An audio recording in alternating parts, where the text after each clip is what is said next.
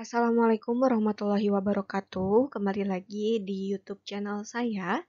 Pada kesempatan kali ini, saya akan membahas salah satu uh, mata pelajaran yaitu PPMI atau Pengolahan dan Penyajian Makanan Indonesia dengan materi tumpeng. Nah, apa saja yang akan kita bahas pada materi kali ini? Langsung saja kita ke slide berikutnya.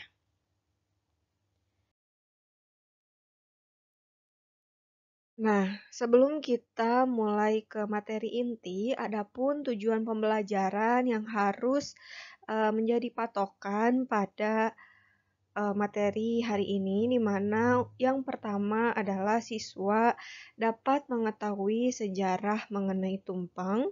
Lalu yang kedua ada siswa dapat mengetahui makna pada setiap sajian tumpeng. Lalu yang ketiga siswa dapat membuat hidangan tumpeng dan yang keempat siswa dapat menyajikan hidangan tumpeng. Nah, mungkin untuk tujuan pembelajaran yang ketiga dan keempat ini akan dilaksanakan uh, setelah kita kita mengetahui teori tentang tumpang ya. Jadi untuk tujuan ketiga dan keempat ini akan kita laksanakan berupa praktikum. Ya, langsung saja kita ke pembahasan yang pertama yaitu mengenai sejarah tumpeng. Nah, ternyata sejarah tumpeng ini pada awalnya merupakan hidangan yang dibuat oleh orang Jawa. Nah, hidangan ini e, ditujukan untuk berbagai keperluan ritual. Misalnya digunakan untuk berbagai macam upacara seperti upacara mendirikan rumah, lalu juga ada peresmian gedung, ada juga sebagai kelahiran, perkawinan, kematian, bersih desa, dan sebagainya. Dan diperkirakan nasi tumpeng ini sudah ada sejak zaman Hindu, Hindu pada abad pertama ya. Jadi memang uh, tumpeng ini awalnya ditemukan oleh orang Jawa dan ditujukan untuk uh, berbagai upacara ya. Dan upacaranya itu banyak sekali ya seperti yang tadi disebutkan. Lalu selanjutnya ada pengertian tumpeng. Kalau tadi kita membahas sejarahnya, sekarang kita akan membahas mengenai pengertian tumpeng. Di mana untuk pengertian tumpeng ini, tumpeng adalah cara penyajian nasi beserta lauk pauknya dalam bentuk kerucut ya. Jadi jika kita membuat tumpeng tapi tidak ada bentuk kerucut itu tidak da, di, tidak bisa dinamakan nasi tumpeng karena ciri khas dari nasi tumpeng ialah nasi yang berbentuk kerucut. Nah, karena itu disebut nasi tumpeng ya, makanya nasinya itu berbentuk kerucut. Lalu olahan nasi yang dipakai umumnya ini berupa nasi kuning. Meskipun ada juga yang digunakan nasi putih biasa atau nasi uduk, adapun yang menggunakan kedua campuran nasi tersebut ya. Jadi ada yang menggunakan nasi kuning di luarnya, lalu di dalamnya itu menggunakan nasi putih atau nasi uduk, ataupun sebaliknya, di luarnya menggunakan e, nasi putih, di dalamnya yaitu menggunakan nasi kuning. Cara penyajian nasi tumpeng ini biasanya dibuat pada saat kenduri atau perayaan suatu kejadian penting. Tumpeng ini biasanya disajikan di atas tampah ya. Ciri khas tumpeng selain berbentuk kerucut yaitu disajikan di atas tampah atau wadah bundar dari anyaman bambu dan dilapisi daun pisang batu ya. Ini untuk penyajian nasi tumpeng. Selanjutnya ini ada makna tumpeng ya. Jadi karena tumpeng itu merupakan hidangan yang dibuat untuk uh, upacara, maka dari itu hidangan ini memiliki makna-maknanya. Apa saja maknanya? Ternyata makna tumpeng ini ada tiga. Yang pertama bermakna sebagai hubungan manusia dengan agama atau Tuhannya ya. Lalu yang kedua ada hubungan manusia dengan alam dan yang ketiga ada hubungan manusia dengan manusia atau sosial kemasyarakatan. Nah, untuk makna tumpeng yang pertama yaitu hubungan manusia dengan agama atau ketuhanan ini terletak pada uh, bentuknya yang kerucut ya. Jadi mengerucut ke atas itu berhubung ke manusia dengan Tuhannya ya. Tuhan itu adalah uh, makhluk yang paling esa gitu. Jadi memang mengerucut ke atas. Lalu hubungan manusia dengan alam. Hubungan manusia dengan alam ini ditandai dengan lauk pauk yang digunakan ya. Jadi memang lauk pauk yang digunakan ini berasal dari alam. Lalu ada hubungan manusia dengan manusia atau sosial kemasyarakatan. Nah, ini ditujukan dengan uh, cara memotong tumpeng. Biasanya dalam suatu acara ini untuk tumpeng dipotong ya, yang uh, memotong awalnya itu adalah orang-orang yang uh, sudah sepuh biasanya atau dituakan atau mungkin bisa juga orang-orang uh, yang uh, memiliki atau mempunyai acara tersebut gitu. Makanya itu ada hubungan manusia dengan manusia. Ya. Baik, kita lanjutkan. Nah, kita akan membahas mengenai hubungan manusia dengan manusia. Nah, hubungan manusia dengan manusia ini ditandai juga terdapat dengan jenis-jenis tumpeng yang membawa pengharapan atau doa tertentu kepada sang kuasa. Eh, jadi ada tumpeng-tumpeng yang memang diharapkan atau ditujukan untuk berdoa kepada sang uh, kuasa kepada Tuhan. Nah, apa saja tumpengnya? Yang pertama ini ada tumpeng delupak. Nah, tumpeng delupak ini adalah tumpeng yang dibuat uh, puncaknya itu berbentuk cekung. Ya, jadi uh, memang mengerucut, tapi di atas uh, sebelum ngerucutnya itu dia berbentuknya cekung. Nah, Cekungnya ini memiliki makna, di mana maknanya agar keinginan dan harapan dikabulkan. Jadi cekungan ini itu e, memiliki filosofi seperti kita sedang berdoa gitu. Jadi maknanya memang e, agar keinginan dan harapan kita dikabulkan. Lalu yang kedua ada tumpeng punar. Nah, tumpeng punar ini digunakan agar kehidupan keluarga ini cerah, seperti menyambut kehadiran anak. Lalu yang ketiga ada tumpeng kendit. Nah, tumpeng kendit ini dipakai saat pemilik hajat memohon jalan keluar dari gangguan, kesulitan hidup, dan keselamatan dari ancaman roh jahat. Lalu yang keempat ada tumpeng robyong, di mana tumpeng ini biasa disajikan pada upacara siraman dalam pernikahan adat Jawa.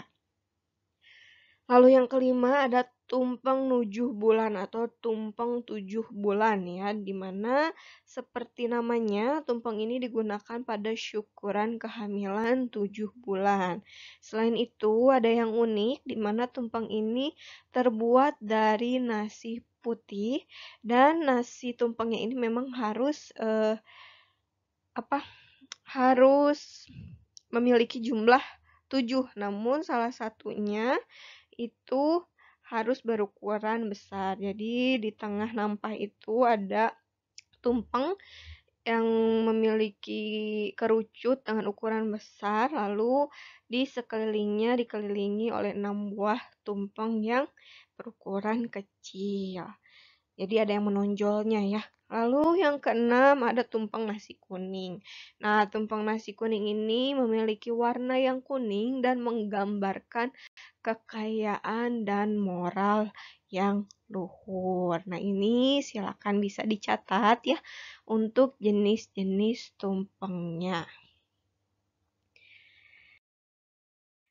Ya, ini merupakan gambar-gambar dari keenam tumpeng yang tadi disebutkan ya. Bisa dilihat bahwa memang beda-beda ya. Jadi ada yang pakai nasi putih, ada yang pakai nasi kuning, lalu juga memang bentuknya pun berbeda-beda. Nah, ini akan saya jelaskan uh, gambar-gambarnya satu persatu ya. Yang tadi sudah dijelaskan sebelumnya. Oke, yang pertama ini ya nggak kelihatan ya. Oke kita ganti warnanya ya. Jangan warna kuning. Oke kita pakai warna merah. Nah ini yang pertama. Nah coba ada yang bisa menebak ini tumpeng apa? Nah, jika dilihat dari gambarnya ya, yang di mana tadi tumpengnya itu ada 7 dan ada satu di tengah tumpeng yang berukuran besar dan dikelilingi oleh 6 tumpeng yang berukuran kecil. Jadi untuk gambar yang pertama ini merupakan tumpeng 7 bulan atau tumpeng 7 bulan ya. Jadi untuk uh, yang mengadakan uh, upacara kehamilan 7 bulan. Lalu ini yang kedua. Nah, ini ada tumpeng robyong. Nah, lalu tadi ini yang ketiga. Ini ada tumpeng punar. Ya, ini tumpeng punar. Lalu yang keempat, yang keempat ini ada tumpeng nasi kuning ya, yang tadi e, mengharapkan kemakmuran dan kekayaan. Lalu yang kelima ini ada tumpeng kendit ya. Ini tumpeng kendit yang bermakna uh, agar dijauhkan dari roh-roh jahat dan yang terakhir ini ada tumpeng lupak.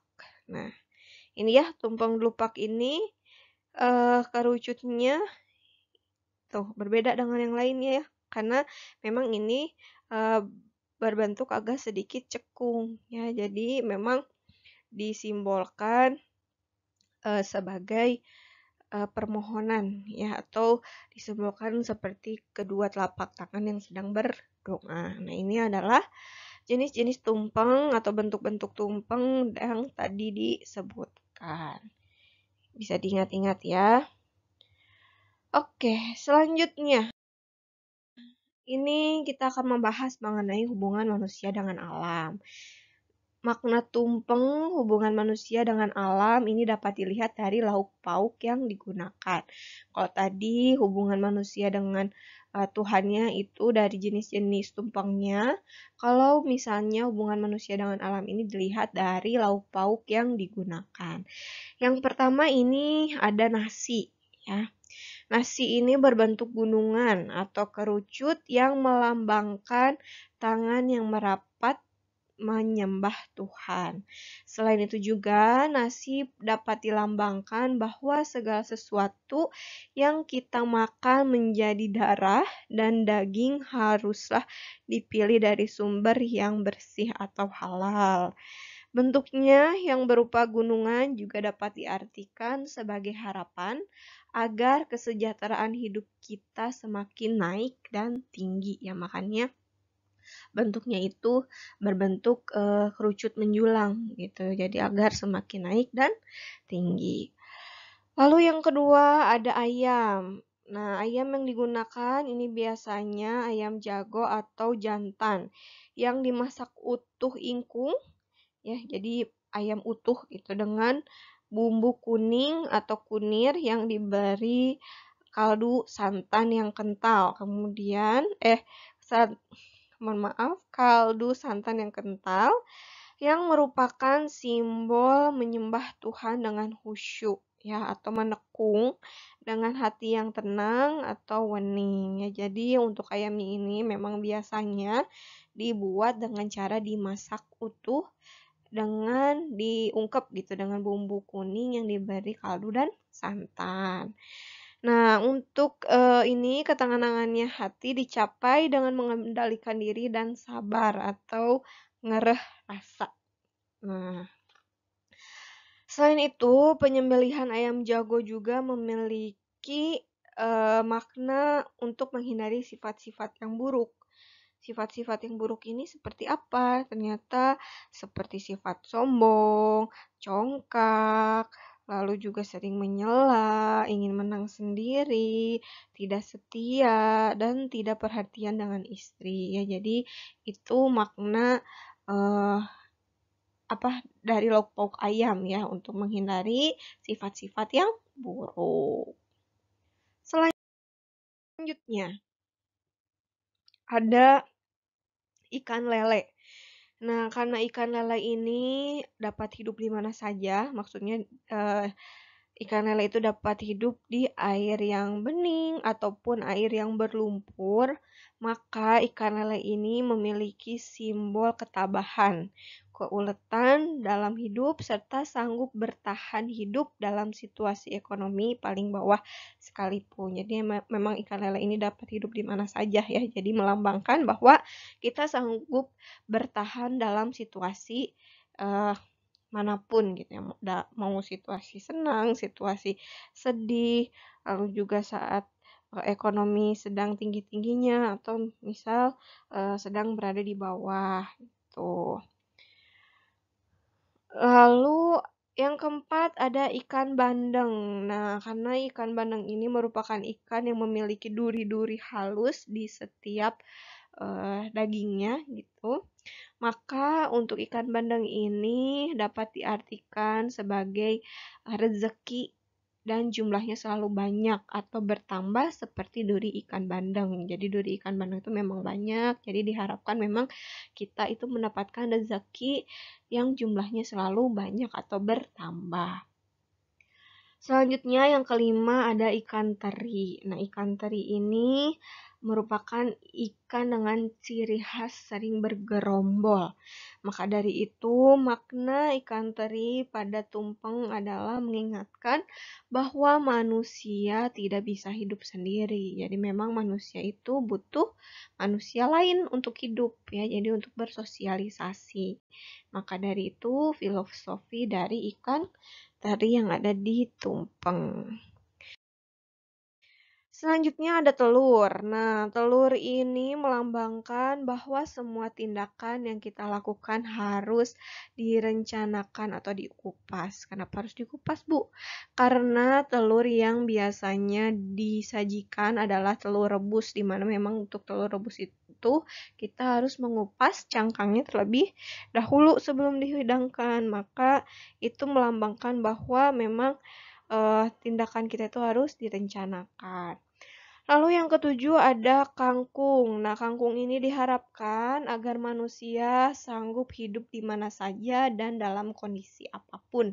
Ya, karena memang kangkung tadi seperti ikan lele dapat hidup di mana saja. Contohnya dapat hidup di air atau dapat hidup di darat. Jadi ada kangkung air dan ada kangkung darat. Lalu yang kedelapan, ada bayam. Nah, bayam ini melambangkan kehidupan yang adem ayem, tentram ya, atau aman dan damai. Tidak banyak konflik. Hal ini dikarenakan memang bayam memiliki warna hijau muda yang menyejukkan. Jadi diharapkan memang pada lauk pauk tumpeng ini uh, bayam itu melambangkan kehidupan yang nantinya akan tentram, dijauhi dari konflik-konflik ya. Selanjutnya ada toge. Nah, toge ini memang berasal dari biji kacang hijau ya.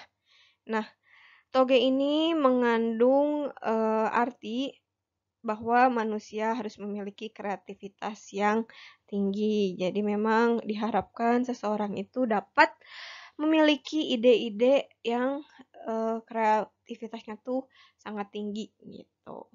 Lalu yang ke-10 kacang hijau. Nah, kacang hijau ini biasanya hadir utuh tanpa dipotong ya kalau ditumpang itu. Biasanya kacang hijau ini e, digunakan sebagai hiasan ya yang panjangnya itu. Nah, Maksud dari kacang hijau ini agar manusia hendaknya selalu berpikir panjang sebelum bertindak. Selain itu juga ada makna lain dari kacang panjang di mana dapat melambangkan umur yang panjang. Yang ke-11 ini ada bawang merah. Nah, untuk bawang merah ini biasanya uh, untuk hiasan atau mungkin uh, digunakan untuk uh, bumbu ya atau misalnya bawang merah yang digoreng gitu dia menggunakan untuk garnish Nah, untuk bawang merah ini melambangkan pertimbangan segala sesuatu dari sisi baik, buruknya dengan matang. Lalu yang ke-12 ada cabai merah. Nah, cabai merah ini biasanya disimpan di atas tumpeng ya, diletakkan di ujung tumpeng. Ini merupakan simbol di mana dapat memberikan penerangan atau tauladan yang akan bermanfaat bagi diri sendiri serta bagi orang lain. Dan yang ke-13 ada bumbu urap ya di mana bumbu urap ini memiliki arti mampu menghidupi dan menafkahi keluarga. Nah, itu tadi ya ke-13 uh, tumpeng, makna tumpeng hubungan manusia dan alam. Nah, lalu selanjutnya ini ada hubungan uh, manusia dengan manusia atau sosial kemasyarakatan. Nah, hubungannya ini yaitu puncak sebuah upacara di mana terdapat tumpeng di dalamnya, ditandai dengan pemotongan bagian teratas atau terlancip kerucut dari nasi tumpeng tersebut. Pemotongan ini biasanya dilakukan oleh orang yang paling dituakan atau dihormati di komunitas di mana upacara itu dilaksanakan. Ya tadi ya pas awal-awal Ibu sudah jelaskan atau saya sudah jelaskan. Ini mengisyaratkan bahwa masyarakat masih memegang teguh nilai-nilai kekeluargaan dan memandang orang tua sebagai figur yang sangat dihormati. Ya, jadi tadi diingat ya, tumpang itu memiliki tidak tiga makna. Yang pertama adalah hubungan manusia dengan Tuhannya, yaitu ditandai dengan jenis-jenis tumpeng. Lalu juga ada hubungan manusia dengan alam, yaitu ditandai dengan lauk pauk yang digunakan. Lalu yang ketiga ini hubungan sosial masyarakat atau hubungan manusia dengan manusia itu ditandai dengan pemotongan tumpeng di mana untuk uh, yang ketiga ini biasanya pemotongan tumpeng dilakukan oleh uh, sesepuh atau orang yang dituakan atau dihormati di acara tersebut. Nah, sekian uh, materi pada hari ini mengenai tumpeng. Semoga memang dapat dimengerti. Jika tidak ada yang dimengerti, silakan bisa ditanyakan di kolom komentar. Mungkin segini materi yang bisa saya sampaikan. Semoga bermanfaat. Saya tutup. Wassalamualaikum warahmatullahi wabarakatuh.